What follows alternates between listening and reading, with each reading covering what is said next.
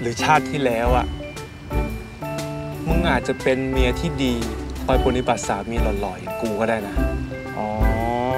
เข้าใจละโคกระบือที่หน้าตาหล่อๆ แม่งหน้าอย่างมึงนี่เองทานกวน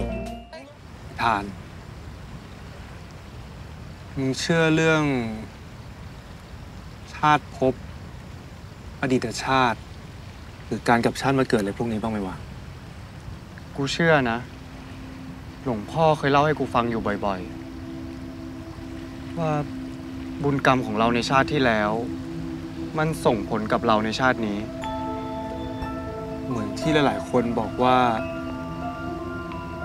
ทุกสิ่งทุกอย่างที่เกิดมาบนโลกใบนี้ มันไม่ใช่เรื่องบังเอิญ แต่มันมีบางสิ่งบางอย่าง เป็นตัวกำหนดมันไว้ มันเรียกว่า สัญญา เช่น เหมือนมึงเกิดมาในครอบครัวของมึง เพื่อนมึง คนรอบข้างมึง ทุกอย่างมันอาจจะมีพันธะสัญญากันไว้ตั้งแต่ชาติที่แล้วอ๋องั้น การที่มึงเจอกูชาติเนี่ย มึงจะบอกว่า ชาติที่แล้วเราเคยสัญญาอะไรกันไว้หรอวะ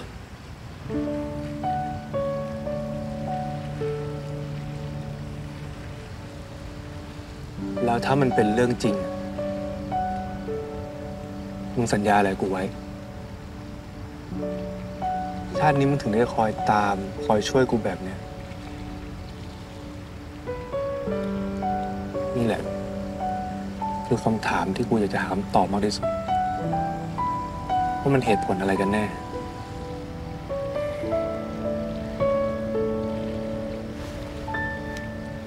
ชาติที่แล้ว กูอาจจะเป็นคนร่ำรวยใจบุญ คอยไถ่ชีวิตโคกระบืออย่างมึงมั้ง หรือชาติที่แล้วอะมึงอาจจะเป็นเมียที่ดีคอยปฏิบัติสามีหล่อๆอย่างกูก็ได้นะ อ๋อ เข้าใจละโคกระบือที่หน้าตาหล่อๆ แม่งหน้าอย่างมึงนี่เองทานกวนกูแล้วกูรอเล่นกูว่ามึงเลิกเพ้อเจ้อเถอะว่ะแล้วนี่ถ้าฝึกเสร็จแล้ว มึงจะทำอะไรต่ออะถ้ากูสอบผ่าน กูคงมีอะไรที่ไม่น่าเบื่อทำมากกว่าเมื่อก่อนอะแล้วมึงอะ ถ้ากูผ่าน กูคงได้ทำในสิ่งที่กูตั้งใจไว้ให้สำเร็จ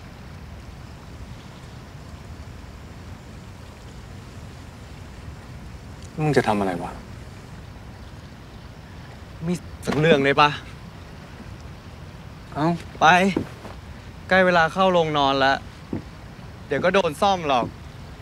ครูฝึกยิ่งหมายหัวอยู่ เออ